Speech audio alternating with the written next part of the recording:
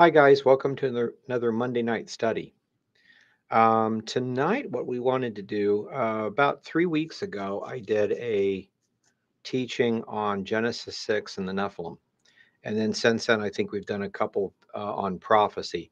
But I've got a lot of questions uh, on that particular teaching, just people wanting clarification or more to the story. So I thought we would stop and go through some of that tonight.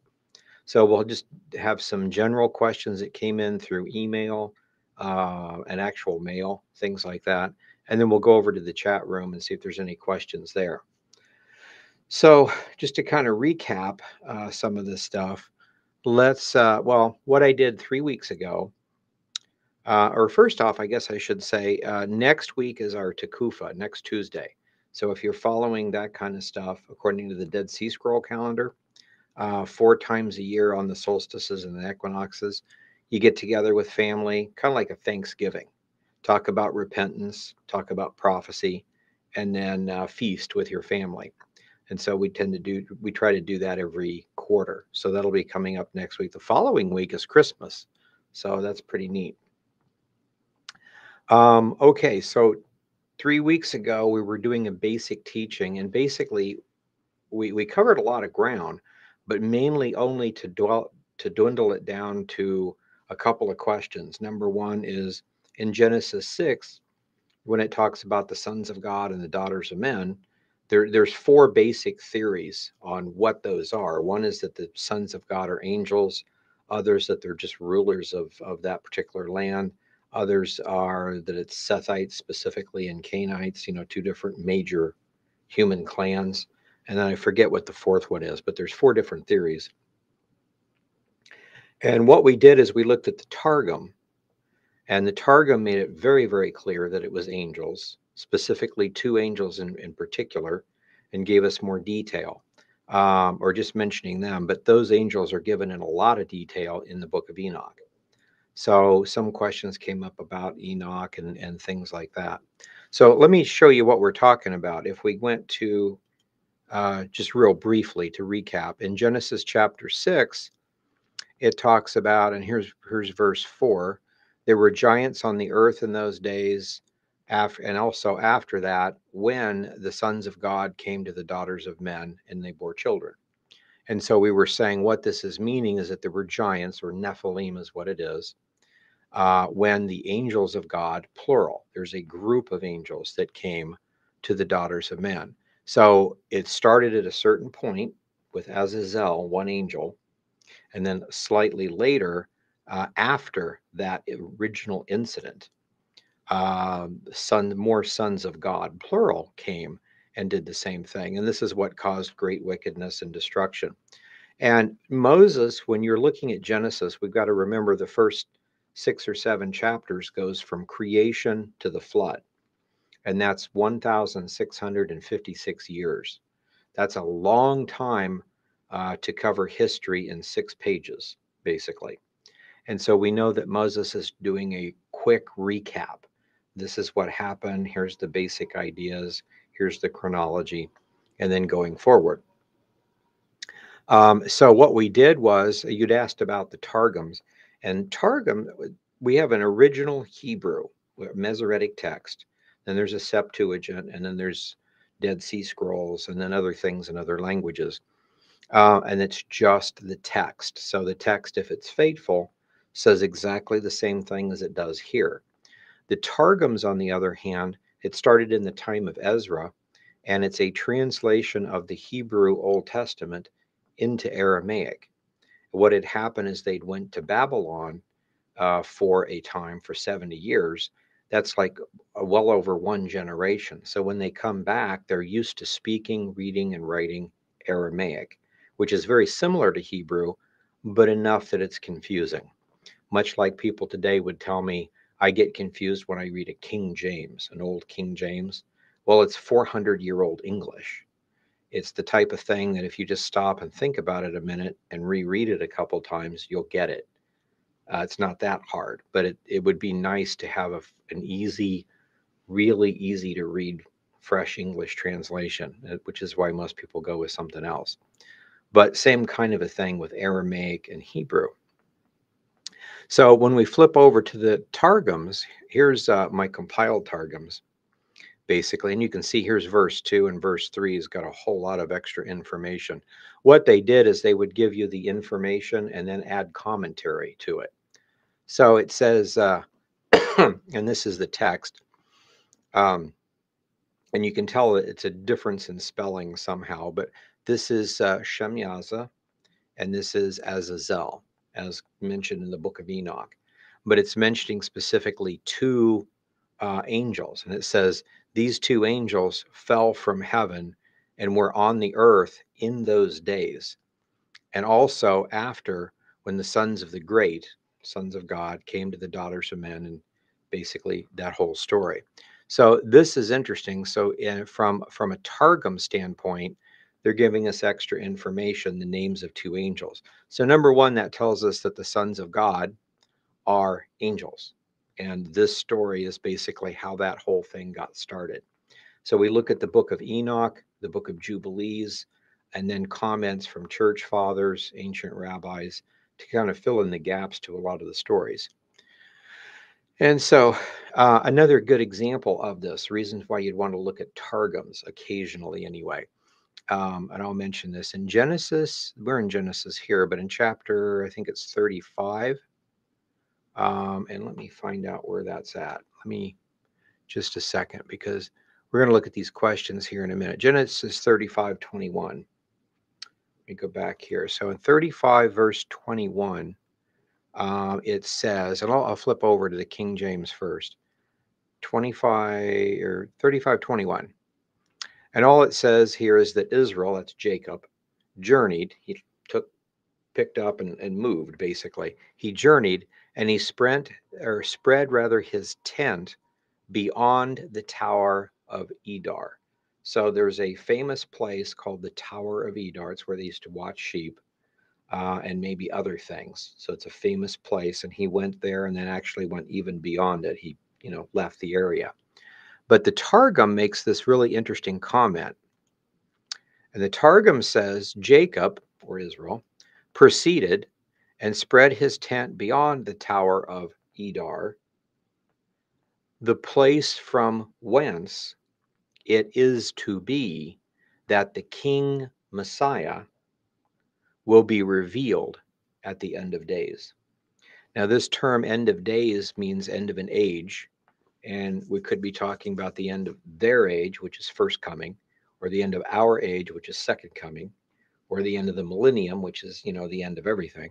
So we're talking about this, but notice this is really interesting because at the Tower of Edar, which is around the area of Bethlehem, where they would uh, uh, watch the sheep, that is where King Messiah would first be revealed at the end of their age. And so when we look at Matthew and we see that there were shepherds abiding their fields, out of uh, flocks out in the fields by night, and angels came and announced to them, Tonight the Messiah is born. And they went and found him. It says they found the babe's uh, the babe wrapped in swaddling clothes, lying in a manger. So what's interesting to me is this is exactly right. So we're talking about Jacob went by this place, and then they interject this. Oh, by the way, this is the place when the Messiah is born at the end of our age. Uh, he will first be revealed. And he was by the angels to the shepherds, because that's the only people that'd be out there in this area would be shepherds. And that's exactly what the text says. So this is an example of an unbelieving Jew if this was written much, much later, would not put this in because it fits uh, Matthew too well. So, why is this put in there unless it's something from a long time ago, something from one of the prophets? So, it's just an example. This means nothing to us. Uh, I mean, it doesn't tell us anything new, but it's just kind of an interesting clue. So, when you see these kind of things, you kind of wonder if the rest of the information is that way. Now, that doesn't mean that some of the information in here could be wrong. Take it like it's a study Bible. So you've got the, the actual Bible, and then usually we have the commentary down at the bottom. In this case, it's all kind of put in verse by verse. Anyway, I just wanted to share that with you. So if we go to um, the questions, uh, first question is where can we get the Targum that talks about the fallen angels? That's what we just read about. That Targum, if you go to uh, the Bible Facts website, this is our BibleFacts.org, and under uh, files right here, we have uh, eSword files and that's what I use, eSword. So I've got a lot of things converted into it. So if you click on that, uh, these two in red up here, this is eSword.net, so you can get the eSword program if you want it. Um, it's free and it's a really good Bible program. And BibleSupport.com is a place where they make modules for eSword, MySword, uh, Crosswire, and several other Bible problem uh, things. So anyway, so those are actual sites off of here. But in here, if you go all the way down to the bottom right here, this one is targum.bblx. So it's a Bible. And basically all it is is Genesis through um, Deuteronomy, the, the, the Torah itself. That's what I have. But all the extra stuff is in there. So if you have eSword, you can click on this, download it, put it in there. Another thing that people ask me about a lot is this one here, the TRI. It's an interlinear and the nice thing about it is you've got the Greek, and to the side it's got the English, but it's also got the the tense, the mood, the voice, all the parts of speech, uh, and that comes in really handy sometimes. Uh, for instance, most of us know in uh, in the book of Jude it talks about um, all the bad examples, and it gives you several examples. And then it talks about uh, the cities of Sodom and Gomorrah in like manner went after strange flesh. And you look at that, and in Greek, it's either masculine, um, neuter, or feminine, and it's either singular or plural. And what's nice about it is because you're looking at that, does that refer to angels? Does that refer to the other, you know, the three or four different things mentioned there? The only one that's masculine in that case that can refer to that is the angels that sinned and left their first estate. And so it's interesting that Jude is basically talking about the Genesis 6 account the angels that left their first estate, that metamorphosized into whatever form they're in now, and was stuck there and caused all these problems. Anyway, so the TRI is a really cool thing that you can look at just to kind of see how it works. And the Targum is here. So that's where we can get, get it anyway. So that was the first question. Second question is In your book, Fallen Angels, you wrote that Azazel was uh, the leader of the second rebellion.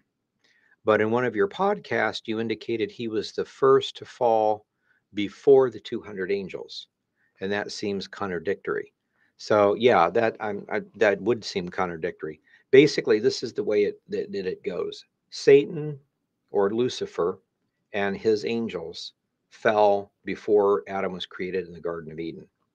And he's the one, uh, the, the fallen angels and or someone from his group that tempted Eve, and we had the fall of humanity. So there's a f- angelic fall before the fall of humanity.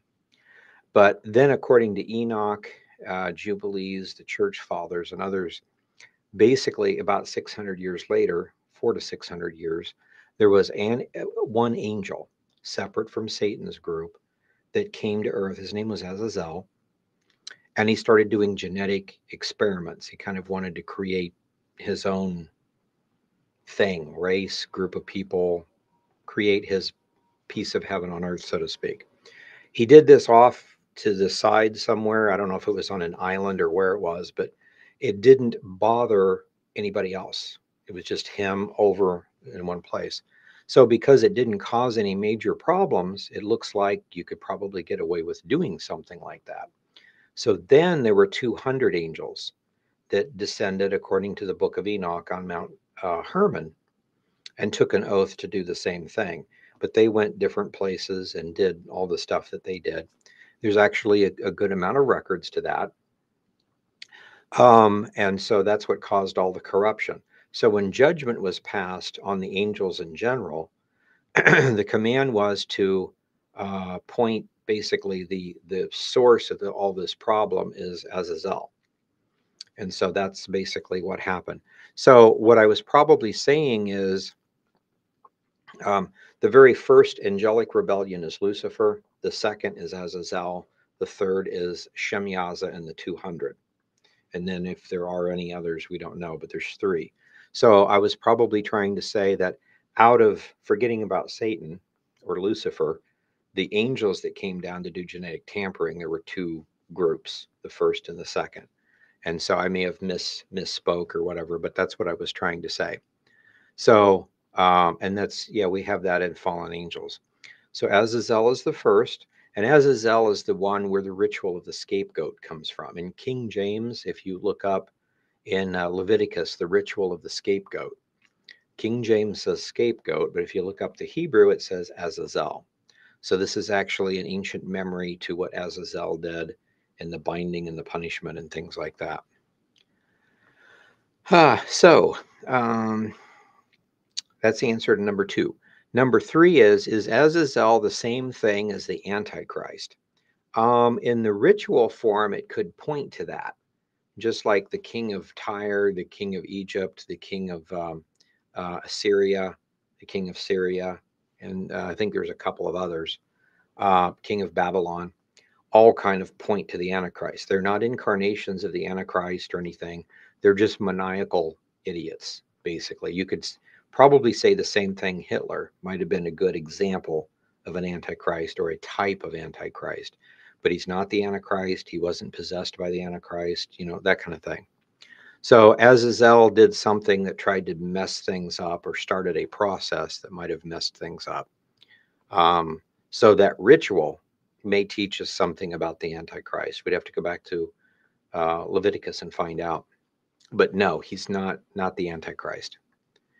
Um, okay, so number four in your book Fallen Angels, you said Azazel cohabited with Naamah, Lamech's daughter, and that the children were known as Sedim. Where can we find more? Where can we find out more about the clans, the different groups? Um, let's see. Those specifically that the Sedim are his children is a legend among um, the from the Talmud and other things. When we put together fallen angels, what we wanted to do is start off with what we know biblically uh, from the Bible, from church fathers, and then from ancient rabbis. Nothing from Islam or anything else, just those basic sources. And so we put together, I think the first three chapters were about uh, the fall of Lucifer, second chapter, the fall of Azazel, and third chapter, the fall of uh, Shemyaza and the 200. So just kind of a synopsis. And then we had more information in it. The second part of the book is basically just a dictionary of you know what you where you'd look up Azazel or Sedim or whatever and find out about them. So some of that stuff comes from those literature, and then others comes from the Talmud.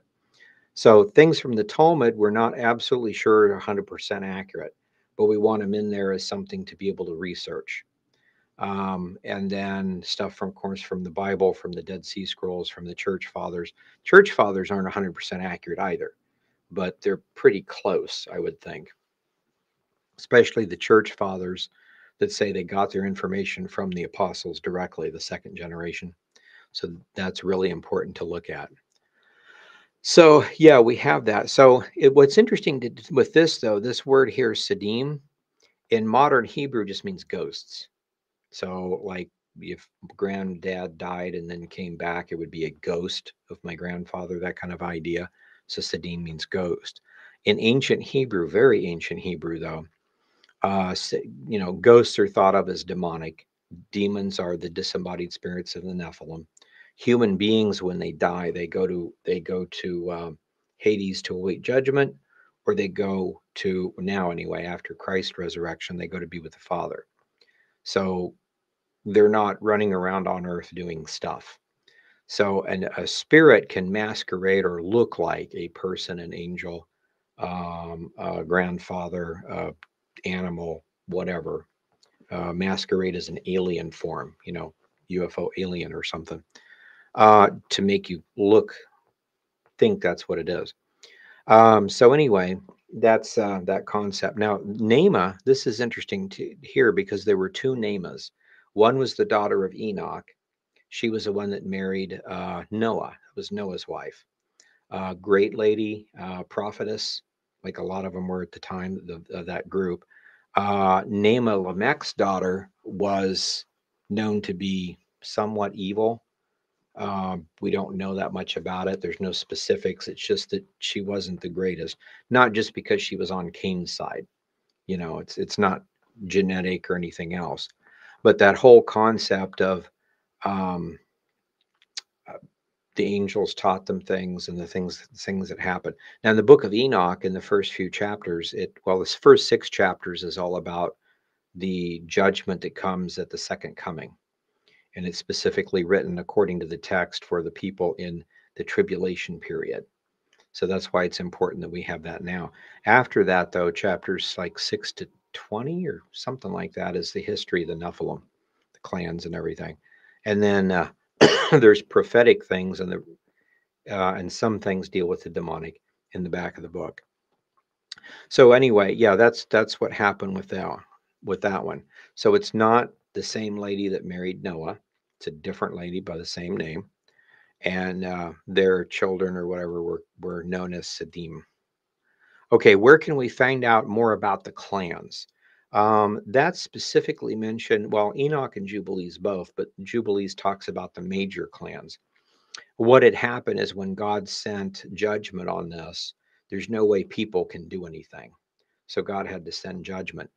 So you, you see all the way through the Old Testament this whole concept of dividing the enemy. God will, you know, maybe a group of people come against the Israelites to destroy them. God will confuse the enemy and have one half of them think the other half is Israel. And so the two enemies will attack the same enemy, but the two sides will attack each other and basically annihilate themselves. And so you see that over and over again. You, you'll, you'll see the same thing in the Gog Magog war according to Ezekiel 38. That same kind of a scenario happens. Um, so, anyway, the Lord did the same thing back then. Uh, according to Jubilees, there were three major clans. Now, this would be like, you know, I, I don't know if they were wiped out beforehand or any or what exactly, but basically there were angels, and angels produced children, and those were Nephilim or giants. Then there were Nephilim, which are uh, like a subgroup, and then there were something called the Elu, according to Jubilees. Now, remember though, the book of Jubilees, the only full version we have is in the Ethiopic. So, a lot of times names and numbers get corrupted. So, that doesn't necessarily mean that Elu or Nephilim or whatever is exactly what it's supposed to be uh, from that language. And so, okay. And also, the word Nephilim um, a lot of us thought it was Nephal means to fall. So, like a past tense verb means to fall. So, Nephilim would be fallen ones. But and again, this is how it's uh, that goes back to that idea of Hebrew and Aramaic. The word Nephalia in, in Aramaic means giant. Nephilim is probably the equivalent of Nephalia. Like um, Ben means son, but you have a bar mitzvah. Bar means son also. Bar is Aramaic for son, Ben is Hebrew for son. So just slightly different. But anyway, we're talking about the Nephilim. There's also Rephaim, Anakim, and others that are subgroups. Um, okay, so later, so we're the clans, basically Jubilees. Uh, later, you state the Sedim were called lower angels by the Assyrians and others. Um, yeah, and I think it, the, the, the question basically was saying that was confusing. Um, they're not angels; they're demons. Um, they're not guardian spirits, although they were talked about by these people. So, in other words, uh, when you've got a group of people that worship false gods or worship demons or think the demons are angels or something like that, that's what's going on. So, these spirits never became angels. They never did anything like that. They stayed where they're at. The story from Jubilees is that after the Nephilim clans were all wiped out through the flood, we have demonic presence. And demons can possess people, demons can manifest in different ways, and they were causing lots of problems. Um, if I talk to you about accepting Christ as your Savior, and you went home and some other spirit appeared to you just out of the blue and said, Ken is an idiot. He worships a fake God. Follow me. I'll give you whatever. That would be kind of hard not to because you're seeing something. Okay. And so in the beginning, we had a lot of demonic activity. And according to Jubilees, um, Noah had prayed and asked the Lord to fix the problem. So the Lord took nine tenths of the demonic host, the evil spirits, and chained them. Uh, so we only have one tenth to roam the earth and do the stuff that it does. So if you've had any kind of demonic problem, uh, poltergeist or possession, or someone in your family has been oppressed, and it's obviously something supernatural, it would be demonic or Nephilim spirits. This is interesting if you think about it because during the tribulation period, uh, according to Revelation, that the the pit is opened, the demonic locust come out, or the ones that look like locust in in the description there in chapter, I think it's chapter nine. But basically, that means during the during the tribulation period, we're going to have ten times the the amount of demons roaming the earth, which means ten times the demonic problem, ten times the demonic activity. So you really, really do not want to be here during the tribulation period. So anyway, but that that's that's the basic story from Jubilees, from from um, Enoch, and then the church fathers. Church fathers will occasionally just tell you stuff, and it's really interesting to to listen to them. They have this general rule, though. Uh, the church fathers normally do not write down really specific stories if it has to do with sexual intercourse um, or the demonic. Not that they go together or anything, but it's just it's not proper to talk about that in mixed public, that kind of a thing. And that's probably wise. It's probably better to to deal with those kind of things in private counseling. So if you have a demonic problem, you'd go to your pastor. The pastor would come to your house or do something. We don't necessarily need to get the entire church involved. Or if there's some sort of an affair or something sexual, same kind of thing. It, if it can be taken care of private, it should be. But the only bad thing of that, that's safer for people. Bad thing about it is when we're reading the church fathers and they tell you, you know, that kind of thing that we don't talk about. And I'm like, I no, I don't. You need to be more specific. And so there's certain things that I wish the church fathers would have at least written down in a private counseling book or something like that. Anyway, so um, another question is what happened to Naamah?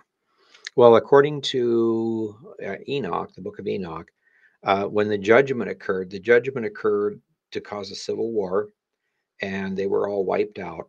The uh, demons, the angels, and the wives of the angels are all put in a place called Tartarus. And this is the one that Peter's referring to, I think, in Second Peter. Um, the only place it's mentioned in scripture is the word Tartarus. Um, but anyway, uh, so Naamah being, if Naamah is actually the wife or the one that worked with Azazel, then she would be there with him. So not in the normal place for human beings awaiting judgment. Uh, so uh, next question. If the Nephilim were destroyed before the flood and only their spirits are left today, why are they considered guardian spirits? And I think that uh, we were talking about Assyrians considered them guardian spirits.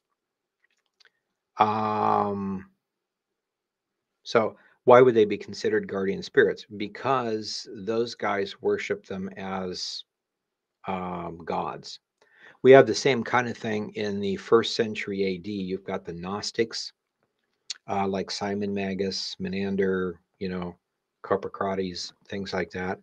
They all worshipped this and they had a twisted way of looking at, at these things. The God of the Old Testament, the God of the Jews, was evil. And Genesis 6 records this idea of creator angels. These are good guys, you know, instead of bad guys. So they had kind of a flip on this. Carpocrates, the one that did the Carpocratian Gnostics, he actually said he was a reincarnation of one of those uh, creator angels. And of course, to me, that means, yeah, he probably is demon possessed. The guy was a total nut, uh, very corrupt, very immoral, you know, so just normal Gnostics. But the Gnostics did the same thing. They normally worship the 30 eons, but somehow that always went back to Genesis 6. So it's kind of an interesting thing there. So again, they didn't become guardian spirits. It's just that if you're satanic and you're worshiping demons, you think of them that way. Uh, what happened to the 10 that weren't destroyed? Okay, um, I may have mistyped this. What happened to the 10 that weren't destroyed? Yeah, I have no clue. I must have mistyped that one when I put it in here. Um, maybe I meant them. What happened to them? Are those those that were not destroyed? Um, or the question is, Azazel was he among them? So the angels, according to Clement, one of the church fathers, said that when the angels came down, they metamorphosized.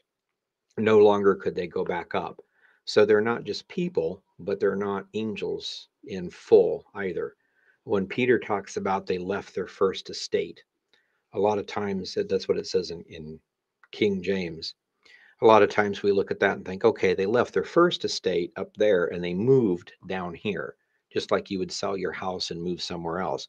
Uh, that does not that's not really what the word means. It doesn't mean moving. It means to change status. Um, as a human being for instance i could quit my job as a banker and go become a carpenter or a plumber or an electrician. My status would change. I i was i'm no longer that here or maybe if i was a great minister but i said i apostatized and i no longer believe fallen out of grace you know now i'm a a plumber or something. Uh, my my whole being is changed, even if I've moved or whether I've actually moved to a new new house or not. Um, so that's what we're talking about there. Uh, so Peter says they left their first estate. They were no longer like they were before. They were different. And of course, Peter doesn't give us any details of exactly how or anything like that. It's very interesting to think about, though. And the church fathers, again, there's no major treatise on demons per se, but it's just as they're talking about working with the heathen or doing something, um, they would mention little pieces of things. Uh, so anyway, so Azazel then, uh, so the angels, the wives, and the children are chained up in Tartarus, except for 10%. Oh, that's probably what it is 10%, the 10%. I didn't put percent in there, but the 10% are of the children, since they are disembodied spirits, are roaming the earth. So I don't think that any of the human beings are or the angels are, because it's a totally different thing. Uh, in your book, Fallen Angels, you said Azazel was chained under a valley uh, called Bet Hadudo until Judgment Day. Are the other 200 chained there as well, or only only 90% of them? Well, if I the way I'm reading Enoch, if I'm reading it correctly, and if it's you know coming correctly from the Ethiopic, um, all of the angels are chained up somewhere. Uh, Azazel apparently is in a specific place, according to the text, is Bet Hadudo. And it's interesting, you can probably figure out approximately where this is at because the, the Azazel or scapegoat ritual talks about you start from Jerusalem and you can only walk a day's Sabbath, which is less than a mile. So you would go out almost a mile to one of the hills, and a guy waiting there would take the goat the next phase. And so they would go out, it's either 10 or 12 miles away from Jerusalem to the place where they would kill the scapegoat, um, let it go over the cliff and that was called Bet Hadudo. And so, if it's the same one, it's interesting that he's chained there, way down on the earth somewhere. Uh, but the scapegoat ritual kind of points you to him, to what's going on in that place. Now, in Revelation, it says that there are four mighty angels chained under the Euphrates. Now, the Euphrates never gets even close to Bet Hadudo. So they're they're chained up in various places. So Azazel is in one spot, and um, I don't know who the other four are, but there's four chained under under the Euphrates that will be released sometime in the tribulation period, according to Revelation. And of course, there's quite a few others somewhere else. So, good idea. I, I if you think you know a location, I still would not try to go mess around with it because you know um, you could you could get yourself into some trouble doing that kind of thing. A lot of you uh, follow or used to follow Chuck Missler and follow also like L.A. Marzulli. He's got a series of videos. Uh, one of the videos was talking about a guy who just decided he would go to these various places and command the spirits to leave and kind of take over and that kind of stuff and got himself into some very serious trouble almost got himself killed not by people but a demonic attack. So basic idea is if the lord's telling you to do something and you're you're you have a ministry in the demonic or something like that then by all means do what the lord's called you to do. If you don't stay out of it it's just the, the best thing to do i like teaching here I have, and maybe it's just me, but I have absolutely no desire at all to have a prison ministry, for instance. Now, that would probably be much safer than anything else, but I could still possibly get myself in trouble. Uh, or maybe a ministry in an inner city specifically to gangs. That does not sound like something that I need to be a part of. Somebody does, but I'm just saying it's if you're called to it, be faithful if you're not called to something or you're not sure, pray about it first. Um, let's see here. Okay. Number seven, why was Azazel considered the worst of the other angels? Or the worst, rather, if other angels taught men to do evil things. Um, he was assigned as the the kind of the scapegoat. That might have a good meaning for that. Basically, it's it's um,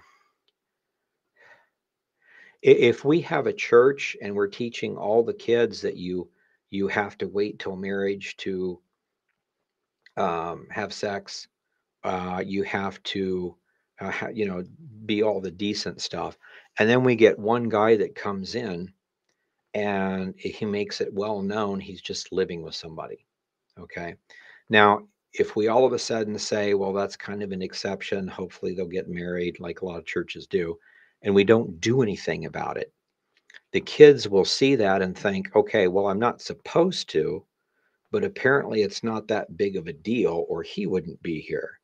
So I guess it's okay. And they would go ahead and do whatever they want to do. Um, and so it's that kind of an idea as far as like, uh, it's always been said that whatever you do in moderation, your kids will do to the max.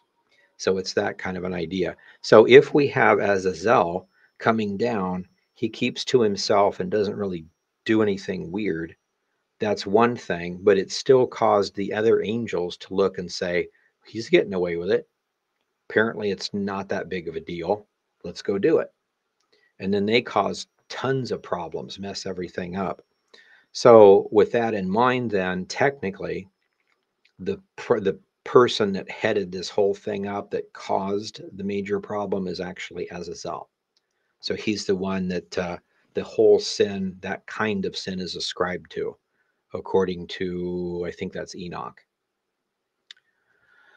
Uh, so yeah, because he taught certain things. Uh, in the book of Enoch, it talks about the leaders of the 200 taught different things to men. And that's one thing that's interesting because if you look at it, they taught things like sorcery, um, poisonings, and antidotes to poison. They taught weapons, armor, um, all sorts of things like that. So if you think about it, there's nothing wrong with me building a wall or armor or something for protection. Maybe you would or would not want me to have a sword, but a shield would be a good thing. There's absolutely nothing wrong with that. Um, uh, making a plow or other instruments out of iron, knowing how to metallurge, there's nothing wrong with that. Knowing that something is poisonous and how to, if you accidentally eat it, what can I do to make you well? Nothing wrong with that. Absolutely. So we look at these things and we think, okay, sorcery, that's probably bad, but The rest of the stuff I don't see a problem with. It's not what they taught per se, but what they did with society. So if you come up to say like an Amish type group and said your your guys are weird, you're worshiping a fake god, he doesn't care about you, he's letting you die.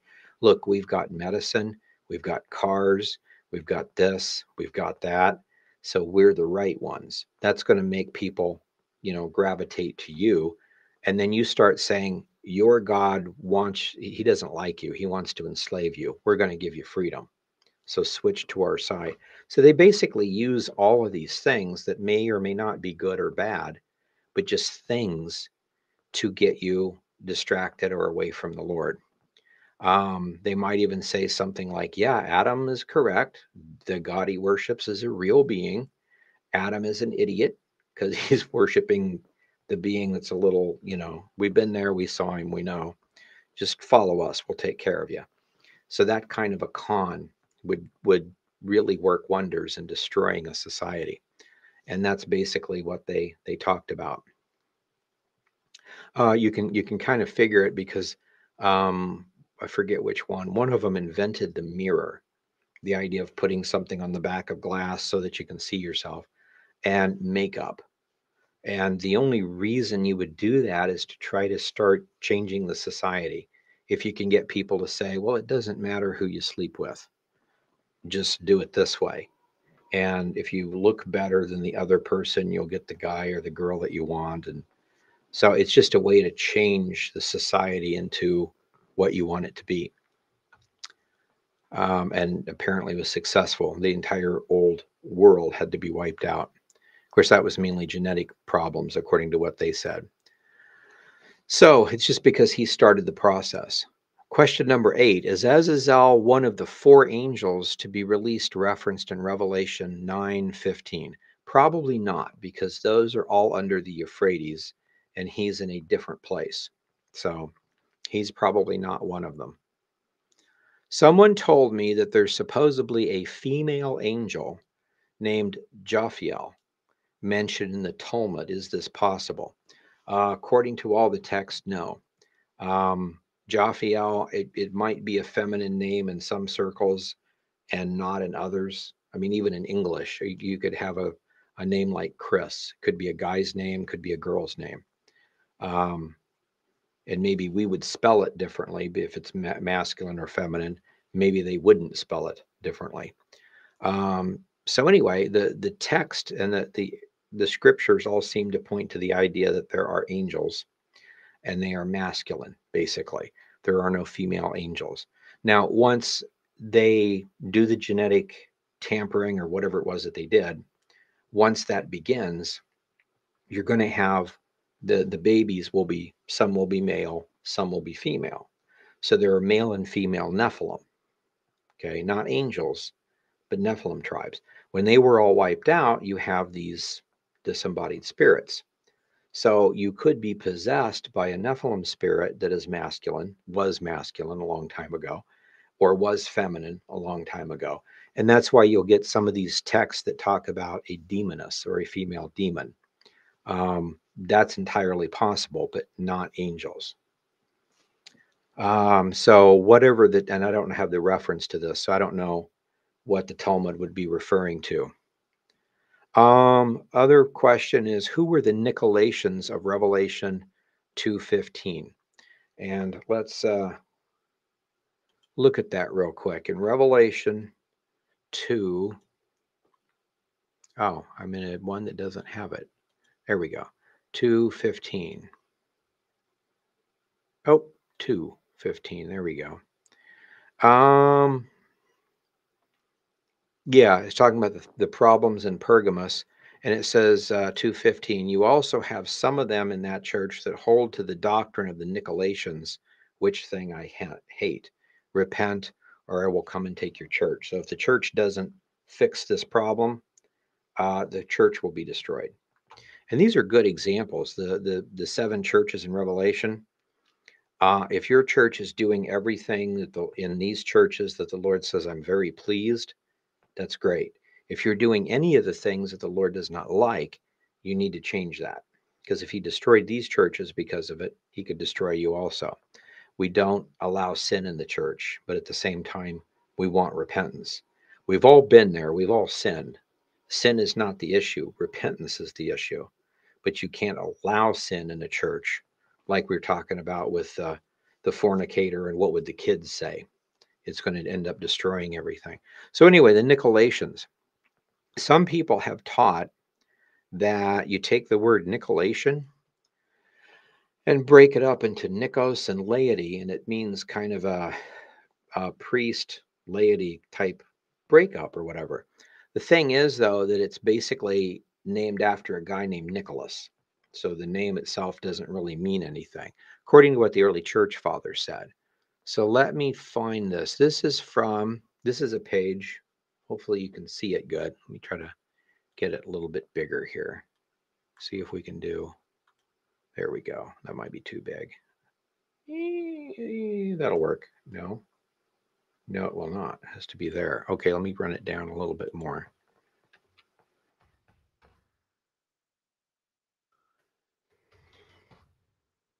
Okay, that's good enough. Okay, anyway, this is from our book, Ancient Church Fathers. And what we did in the Ancient Church Fathers is try to find this kind of stuff.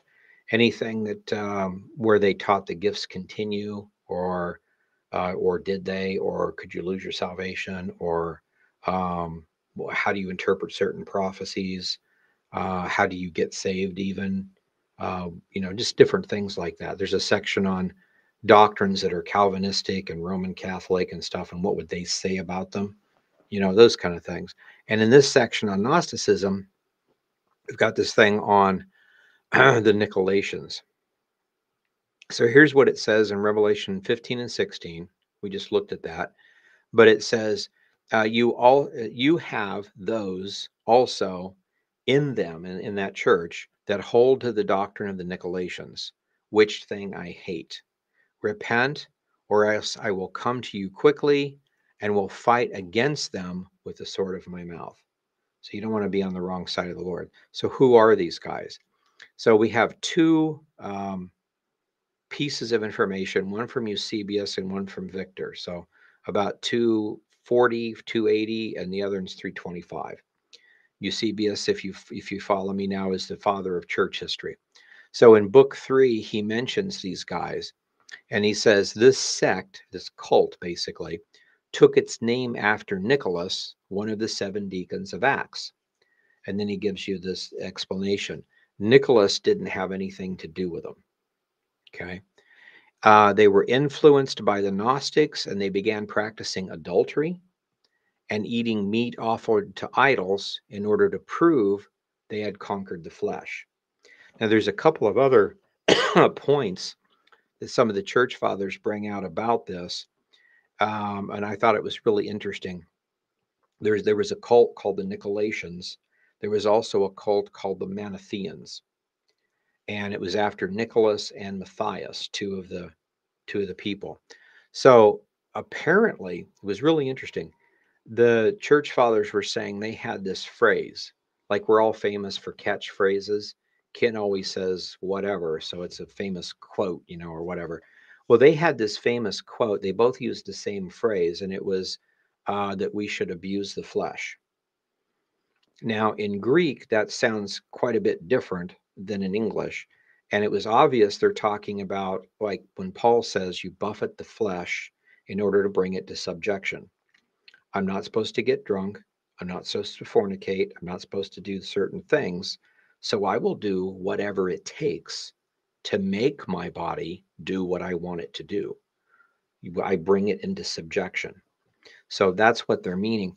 But you could very easily flip that around and say, abuse the flesh. Oh, I could abuse it a certain way I'm thinking of. And that's kind of how they took it. So, one thing I thought was really interesting in reading Eusebius is that we have to be careful how we say things. I need to communicate something to you so that you know uh, he, he was very clear. You don't do this. I know it would be horrible if you could listen to me and think, was is he saying to do it or not to do it? Hmm, maybe it's not that bad of an idea. And then I've caused someone to sin. And so that was kind of what they were talking about here. We have to watch our speech. Paul even says the same thing, I think, in Romans, Romans or Corinthians. He talks about you have to make sure that you're, you're all of the same speech. So we do that today. We have uh, like a cult will come and say, I believe in the Trinity. I believe there's three guys. Three guys. That's not the definition of a Trinity. So don't lie. you know, but then I might think, well, I think the Trinity is like this. And I'm just trying to explain it. And you think, oh, Ken's a heretic, you know. Well, am I or not? I mean, let, let's pinpoint what exactly do I think that means? And if I say, well, it's this, this, this, and this, then you'd say, oh, okay, he's all right then. You, you said it funny. Don't say it funny. You're going to make people think some, something's weird. Like I had this one lady came up to me one time and said, do you believe in a rapture? And I said, yeah. She's like, oh, okay. Well, I don't, but that's okay. I'm like, uh, this is weird. This isn't a Calvary Chapel.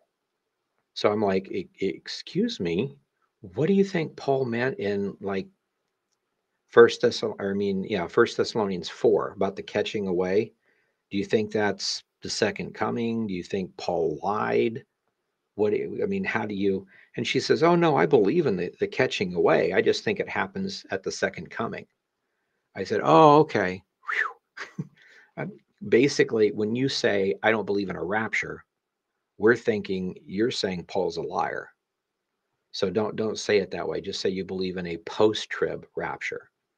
And she was okay with that. She's like, "Oh, okay, yeah, that, that's that's what I meant." Like, okay. And then I, I spent a couple minutes talking to her about if it's a post-trib rapture, uh, things like who repopulates the planet. Oh, I didn't think about that. Well, I'm probably more of a mid-trib person. And I said, okay, that's fine. And I just left it because that that's good enough for the time being. I had to go do something. But it's she she wasn't that far off. She wasn't cultic. She wasn't really weird. She just didn't communicate it right. So that's what we got to be really careful. And first, we'll make sure that we're saying the same thing before we holler and say somebody's a cult or whatever. So anyway, this is what he says about it. Uh, so they misquote Nicholas and Matthias and say that they they they want us to do these things, and they started this little cult at it. One of them was that they practiced adultery, and the other was that they ate meat offered to idols. A little more interesting when you get to Victor, he's uh, he's doing a commentary on the Book of Revelation. That may be off. I was thinking it was 240. Anyway, in the 200s, he writes this commentary, and he says this: the works of the Nicolaitans were at that time false and troublesome men who, as ministers under the name of Nicholas, had made themselves a heresy to the effect that what they had what had been offered to idols might be exorcised and eaten and whosoever should have committed fornication might receive peace on the eighth day so this is loaded with information number one notice this if you can take meat and offer it to an idol then if I exorcise it and eat it and I'm okay, you're basically saying if I didn't exorcise it, exorcise meanings to kick the demon out. If I didn't do that and then I ate the meat, the implication is that I could be possessed, right? So, number one, they're teaching that Christians could be possessed, which is not possible because we're filled with the Holy Spirit we can be oppressed, but we can't be possessed in, in that sense. So, um, and basically, they're teaching people to participate in idolatry. Now, if you go to a store and you pick up a steak and you don't know if that was secular or where the steak came from, Paul says in 1 Corinthians 10, don't worry about it. Idols are dumb idols. We don't care. Don't waste food. But if someone comes and says that's been messed around, I mean, that's from a cult or whatever, then throw it away. It's the person that other person's conscience is more important than food. And so, but at the same time, you would not go to a shrine of a false god and do a pagan ritual to get a free steak. A lot of people would. Christians will not. That's that's inappropriate. That's disrespect to our our God. Uh, so um, they're doing rituals to pagan rituals. Okay. They believe Christians can be possessed. And this whole concept of whatever sin is committed or the fornication might receive peace on the eighth day. This is really interesting. It gives you the concept of a ritual done on eighth day would be Monday, you know, but whatever. Uh, one day a week, basically. You would come in, do a ritual, and the sins would be forgiven. It sounds like a confessional or a confessing to a priest. But otherwise, who knows if you did the ritual or not. So it's it's really interesting. It kind of sounds a little bit like Roman Catholics. Uh, and Gnostics had that same kind of a stuff, but they went way off a totally different direction with that stuff.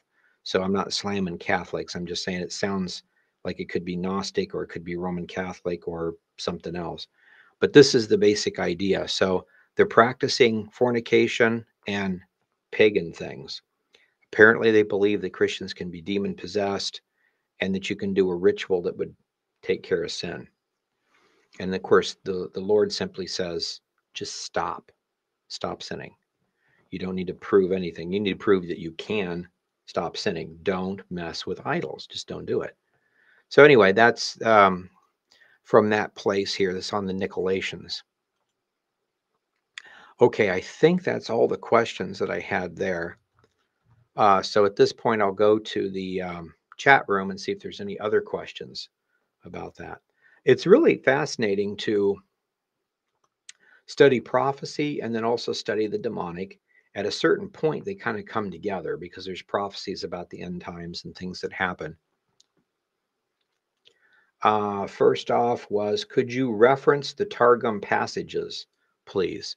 Yeah, the um, again, this is eSword, and um, we went to Genesis 6, verse 4, that talks about that. And if you go to the, the Targum, it says these two angels fell from heaven in that particular verse.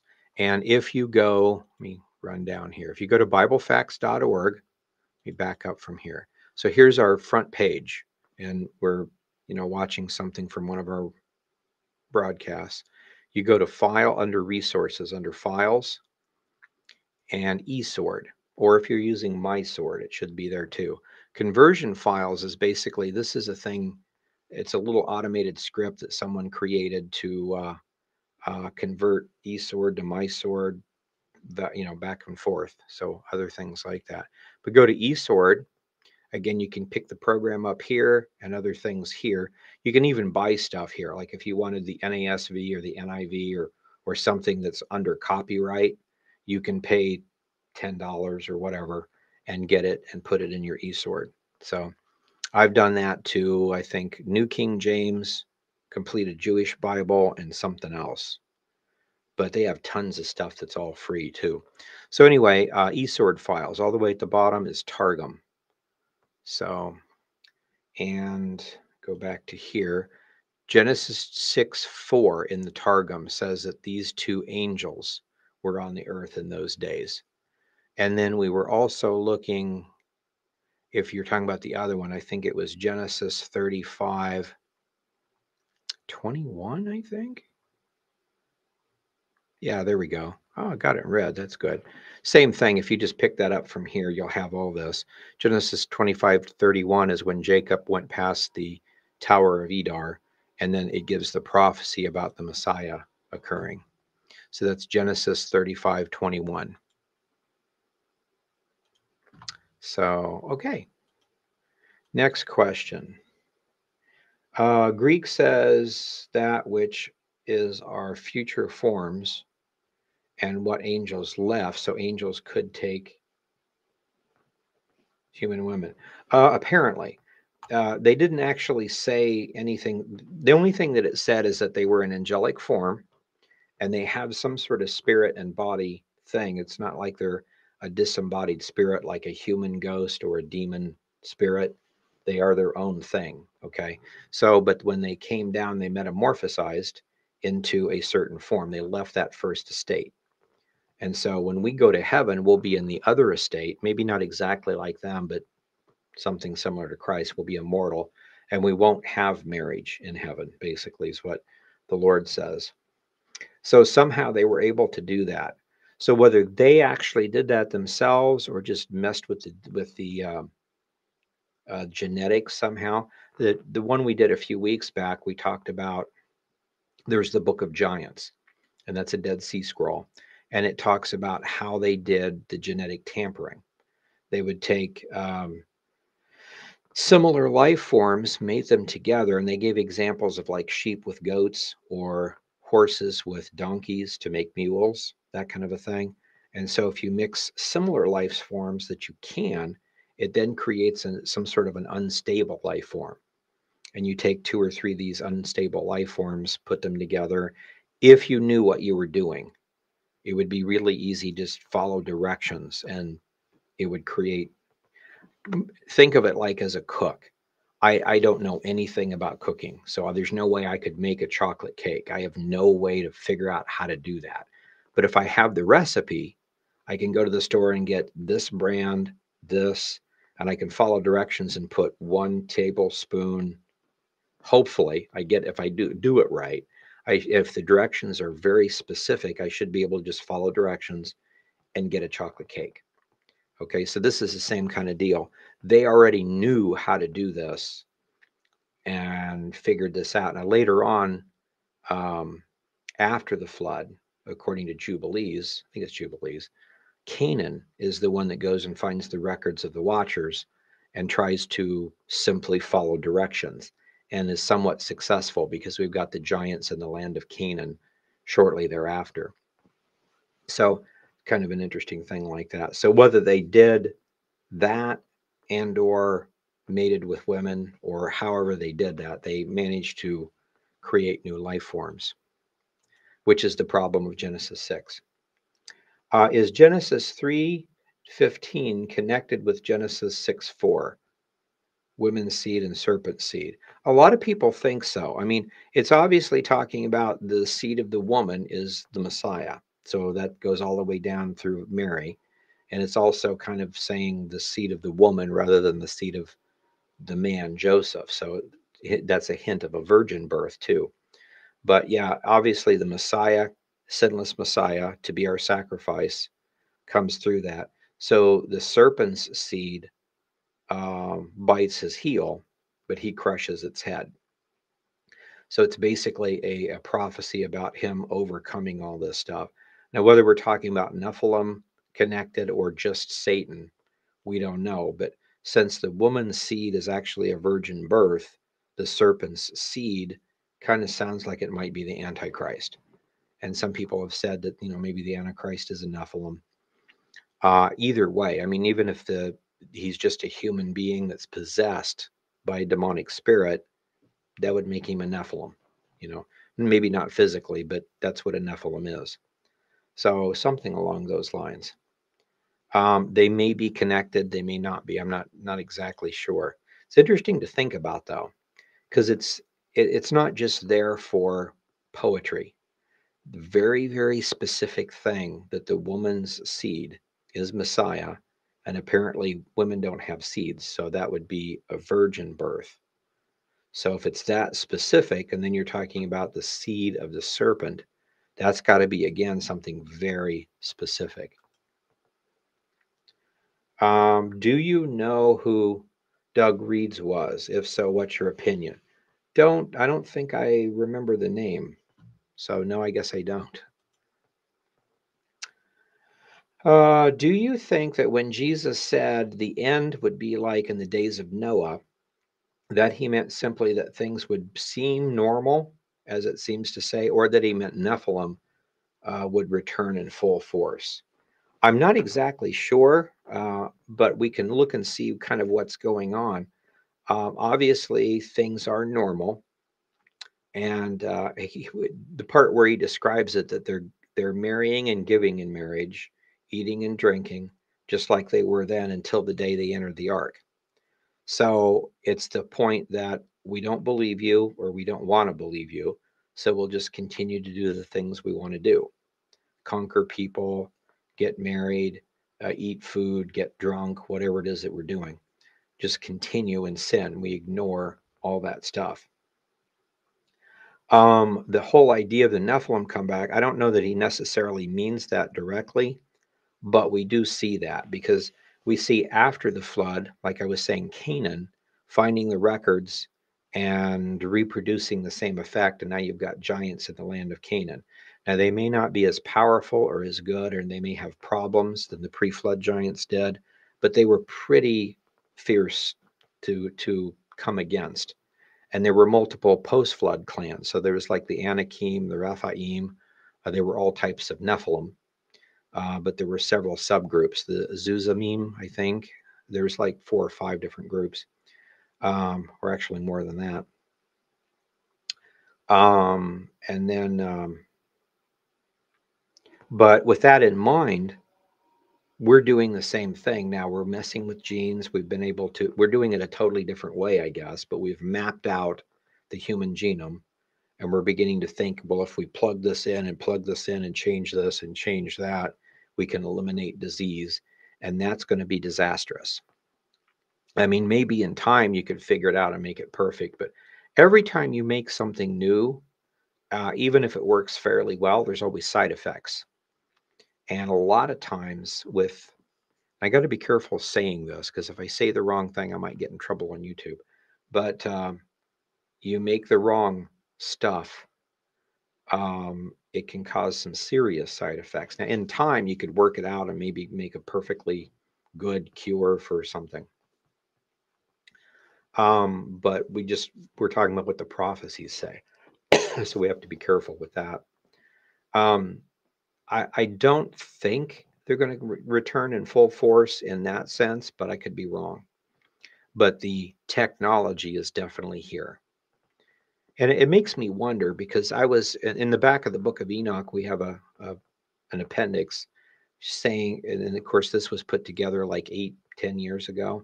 Back then, the things they were doing, like putting the uh, gene of a jellyfish into like a a cat and a mouse and uh, a, a gibbon monkey, I think, and they actually got them to glow. You know, it's because that's what that gene does.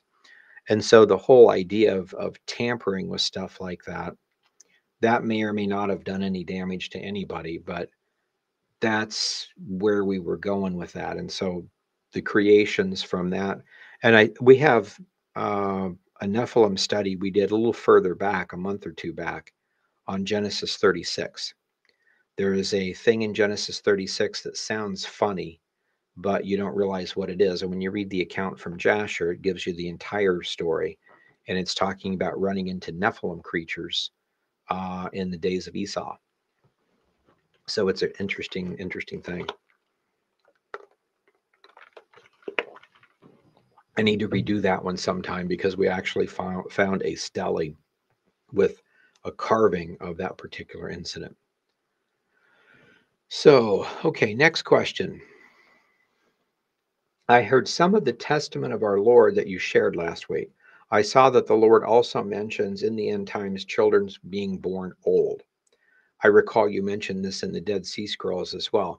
Yeah, it's in like four or five different places, two or three scrolls, uh, a couple of the church fathers. I think it's mentioned in the Sibylline oracles and a couple of other places. The idea is that aging continues uh, or the degrading of aging. So if you look at it, pre-flood, we lived to be about seven to 900 years. Post-flood, instantly, lifespans are cut in half. You only live to be about 400. Now that 400 only goes four or five generations max, and then something, we don't know what, but something happens. And then now getting to 220 would be very difficult. So you go from the fours to the twos, you get cut in half again and then things tend to go down. Abraham made it to 175. I think Isaac was 160 something, and then the the the kids of um, Jacob all lived to be about 120 to 130. And the standard when the Essenes, with their herbal medicine, continued to live to 120. That was a standard for them, even up in the first century where Gentiles were living to be about 60 and rabbis were living to be about 70, a little, little bit longer. Uh, Essenes were still the 110 to 120 mark. uh, which is one reason why we really, really want to get a full copy of this Hagi, this herbal medicine book that they have or had, or try to recreate some of these things. Again, we're not talking about Nephilim medicine, which we need to stay away from, but we're talking about how to enhance our, you know, slow down the aging process. And that's got to be something with foods and supplements and that kind of stuff. Uh, so yes, actually it's several places. But the idea then is that the average person lives to be about 80 eh, or 70. 70 to 80 is, is probably pretty good. And that's kind of the way it is now. Um, but there's several texts that talk about something happens because of the wickedness of our age. So it, it's almost like because of greed, somebody's doing something with food or air or something. They didn't say that, but it kind of something about because of their own wickedness, this stuff happens. But um, something happens. According to the text, and lifespans get cut in half again. So you'd be graying instead of graying at 50 and living to 100, you'd be graying at 20 and living to 40. And it talks about um, uh, giving birth a lot sooner. So if you look at Genesis, um, when they were living to be 900 years old, they seem to be having their kids when they're about 130, 135, something like that.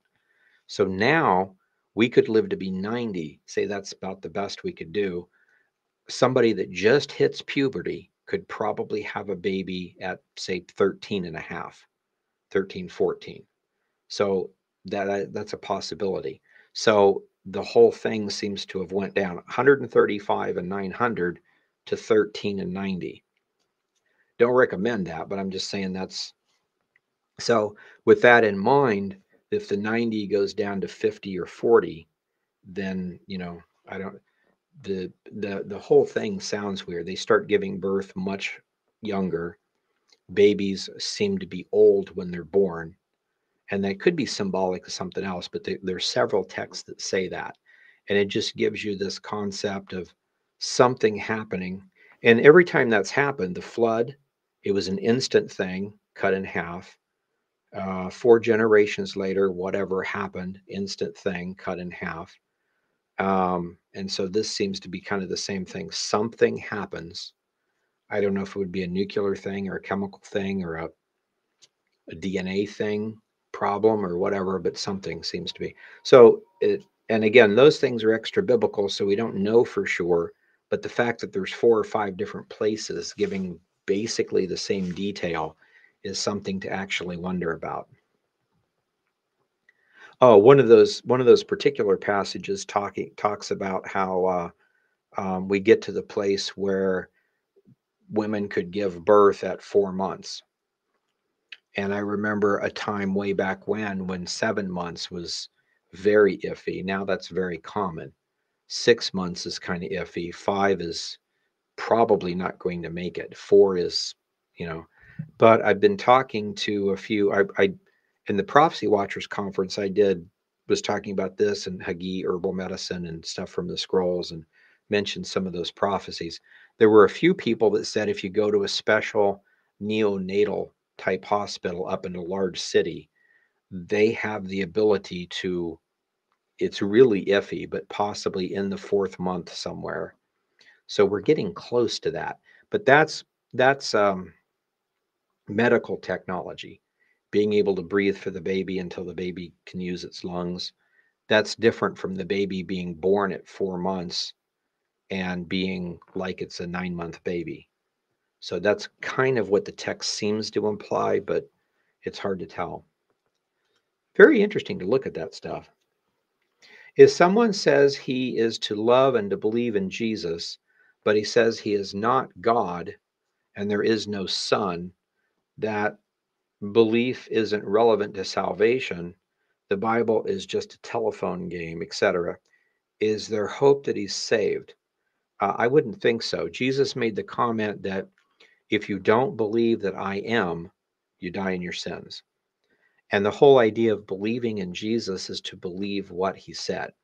So we have the Bible, the Bible says, you know, what Jesus said, you have to believe that I am. It, it's it's not saying that I am the one or I am the guy or something like that.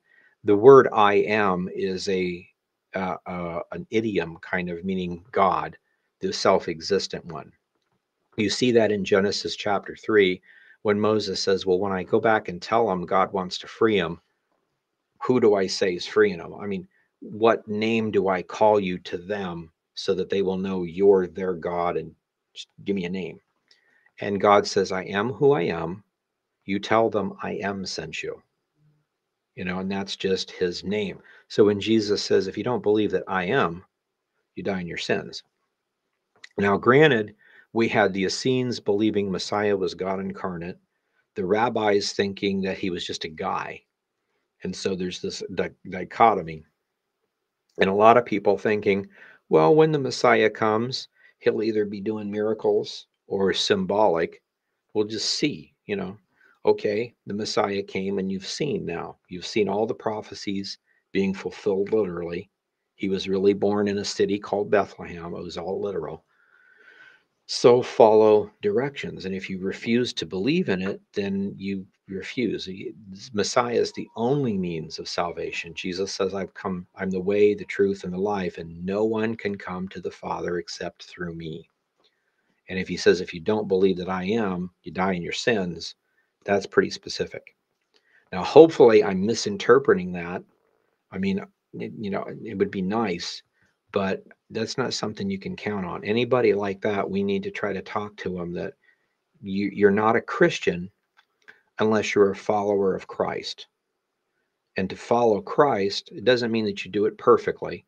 I mess up and, you know, stub my toe or cuss or something, so I've sinned.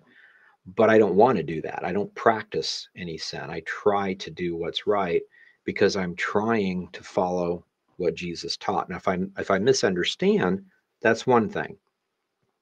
But he made it very clear. I mean, all through the scriptures, uh, Paul said the the uh, fullness of the Godhead dwelt in him in bodily form. Everything that God is was there in Christ. I don't know how you get anything else out of that, the idea of a Trinity. So yeah, I that's that's a guy that I'm not sure is saved. Uh, now he might be saying that just to, you know, say that, but then again, if he's really saved, you wouldn't be playing games like that either. Concerning the Siddim, the okay, the, the Inuit people have a sea goddess named Sedna, hmm, who they say was fathered by two giants at the beginning of the world. Could Sedna be the Siddim? Could this be the same entity as Rahab? That's interesting. That that's always a possibility. We got to be careful though because with the languages, just because I use the word Siddim and someone else does, doesn't necessarily mean it's the exact same thing. And so a lot of um, like pan Babylonian groups get that mi- mixed up. This sounds like Esther or Ishtar or Easter, therefore they must be the same goddess. Maybe, maybe not, if it's from different languages. So we got to be careful doing that. But it is interesting when something is very similar like that, especially since it's a, a sea goddess, because that whole idea of the pre flood world is on the other side of the sea. The way the different histories might write it on the other side of the sea, on the other side of the flood, the other side of history. So there's this Sedna. That, that is very interesting. I would do some more research with that and see if there's any more uh, details. I mean, if you got three or four or five different details that fit exactly, it's got to be a memory of Azazel and Naamah. If it's just that one word, probably a coincidence, but it'd be interesting to look at. How many different places are there um, are are these bad and or fallen entities in? Um, well, as far as like the the demonic hosts, they're they're in a, in one place called Tartarus. As far as the angels, they are somewhere on the planet, but they're chained. All we know for sure is that Azazel is in a place called Bet Hadudo, which is closer to Jerusalem than the Euphrates, and that there are supposed to be four angels chained under the Euphrates that are going to be released during the tribulation period. So there's at least four in that one spot. And to say there's four over there would lead you to believe there's not four over there plus five or six or seven. I'm assuming only four, or at least only four that are released. But so, and there's 200 angels that came down according to Enoch. So if that number 200 is correct, uh, Azazel is a different group. so Azazel is one, four are under the Euphrates. So there's another hundred and some somewhere. So don't know other, anything other than that, though. Interesting question.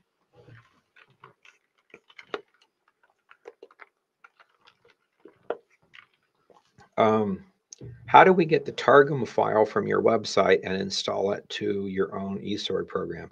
You just click on it and download it. And what you'd want to do with all anything that's a uh, let me let me gra grab it here so we can see. This is a this is a BBLX. So anything like that's a Bible.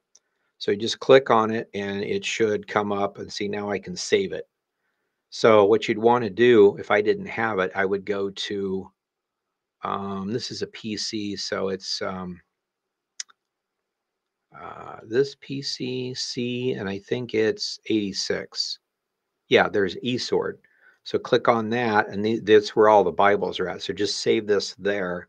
Then you'd have to exit out of Resword, out of eSword rather, and then back into it. And then it should just show up in your thing. You can do this with, see, I've got the new King James, King James Plus, ISV. That's another one that I bought uh, Hebrew, Targum, and then the uh, Textus Receptus Interlinear. So just any of those you just throw in there. Make sure they're safe. Things on my site have been scanned with viruses. You can get them on uh, BibleSupport.com, this place here, including ones you can buy. So very interesting thing. So there's a lot of stuff here if you're interested that you can get a, a copy of.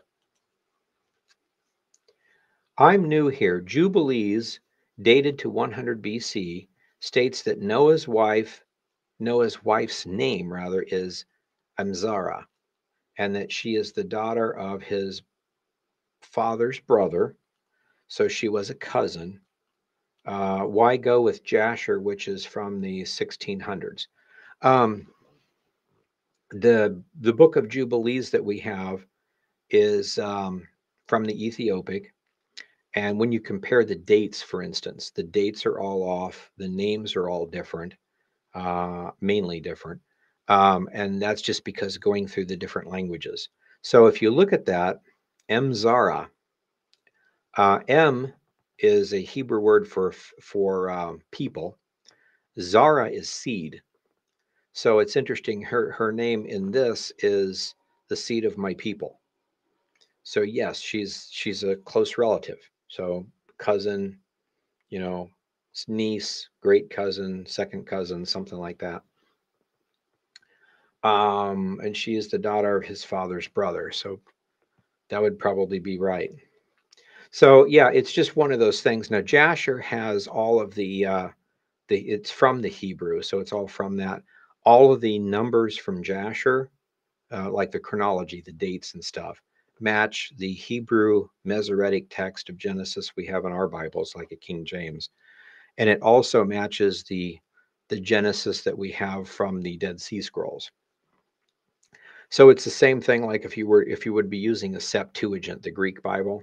Stories are the same. Sometimes the names are different. That doesn't really mean much, but the numbers can be way off also. And in Jubilees, I mean, I like Jubilees, uh, but it will start with Genesis and it'll get to the place where it's 300 years off from Genesis. But then you can t- see somebody edited it because it starts going back.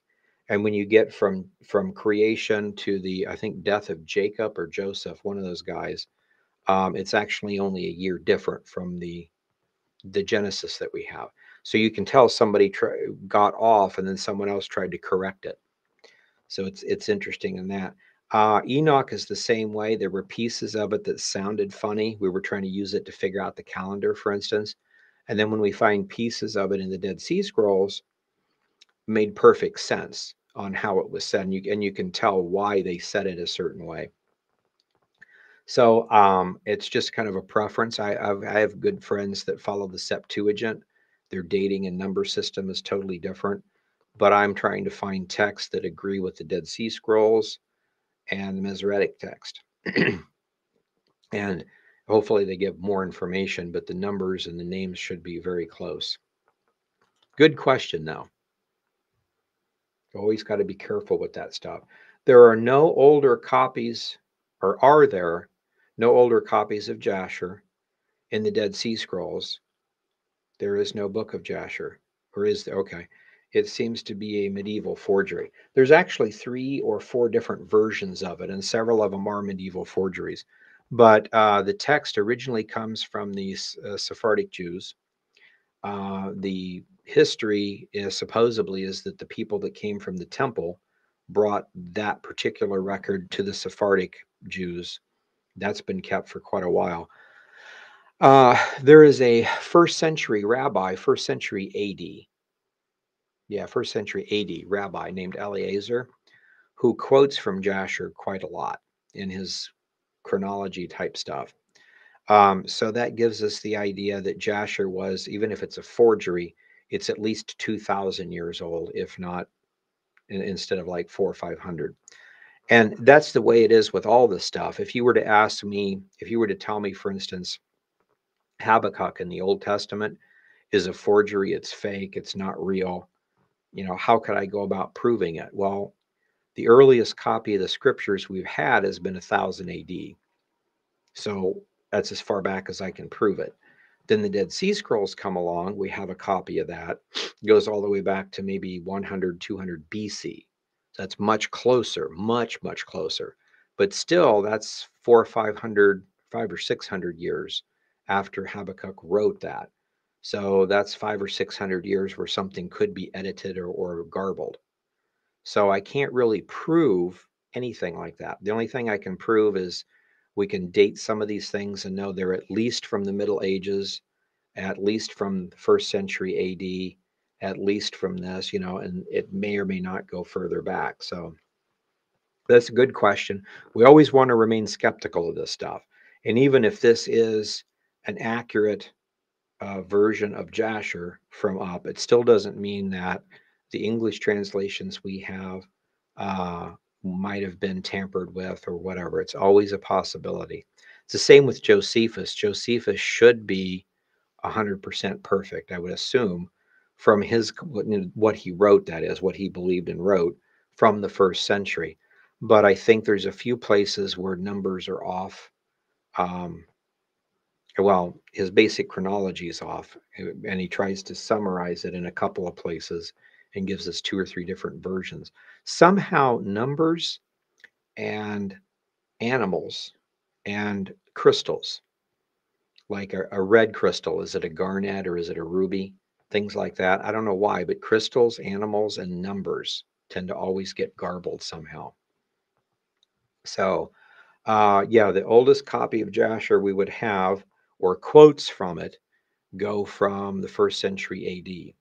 Now, if it's legitimate, it should be all the way back to 35, 3,500 years, so like 1500 BC. It should be about the same time period as Genesis. Question Can spiritual educated Christian filled with the Holy Spirit control demonically suppressed people and to help them like some Solomon did in building the temple. I had a demon suppressed man help me after prayer. Okay. Um the de- demonic stuff, I'm not exactly sure how that goes. I mean, According to the church fathers, if you're filled with the Spirit and you walk into a place where it's demonically, they do rituals or something, the ability for everything to work just stops because the Holy Spirit's present. And the church fathers talk about this and many give many stories of how that happened. Uh, so, but now if you're living with someone, uh, for instance, or uh, like maybe you got a son or a daughter, or a roommate or something, and they're playing around with some sort of demonic thing, um, the demon may want to be with them and you may have a hard time making it stay away. So I don't know exactly how that works myself. Um, but it's it's an interesting thing. Number one, we should not be living with someone that's possessed. And I know that seems hard and everything, but it's just like we're also not supposed to be living with someone who's getting drunk or fornicating or transgender or anything like that. So if they're committing sin, you need to leave or make them leave or something. We really shouldn't be unequally yoked with people like that, even if they're related to us. They need to understand it's a pretty serious thing. That goes back to that whole concept we were talking about someone walking in the church and we allow it. Uh, and then the kids saying, Well, I know it's a really bad thing, but apparently it's not that big of a deal. And so that's how you can possibly get in trouble. Um, last question. I have a question. Are there pictures in Egyptian art of people with bird heads, actual hybrids? Yeah, that I wouldn't I wouldn't be able to tell for sure either. Um, they could have been trying to do that kind of thing. It could be symbolic. Um, they have a lot of gods that they worship, like goddess with a cat head. Uh, Horus is like has a bird head, things like that. So where they got those images or why they want to depict them that way, not sure. But it's also it's it's a possibility. Okay, well it's an 8:30, so we will stop there for tonight. I hope you've enjoyed this. This had just been kind of a not an in-depth study on the scrolls or anything in particular, but kind of a rehash of with some of the questions we did from three weeks back, I think it is. Nephilim studies are fascinating, especially going through with Genesis um, Jasher, uh, Enoch Jubilees, uh, the church fathers in general, all the quotes and the things that they talk about. So we'll go ahead and stop there. We'll come back next week. Um, remember, next week, uh, we have a Bible study at my home on Tuesdays. And so we'll be having our Tekufah to celebrate, focus on repentance, prophecy, uh, and fellowship. Following Monday is um, Christmas, we'll probably upload something, and because I won't be here live on Christmas. But uh, next uh, next year, next month, we'll start up uh, and start doing things. Um, I think actually, I think new yeah New Year's is a Monday too, so we might not. We'll have something on those two, but I probably won't be here live on those two holidays. Anyway, we will see you uh, next week and continue our studies. God bless you guys. We'll see you later.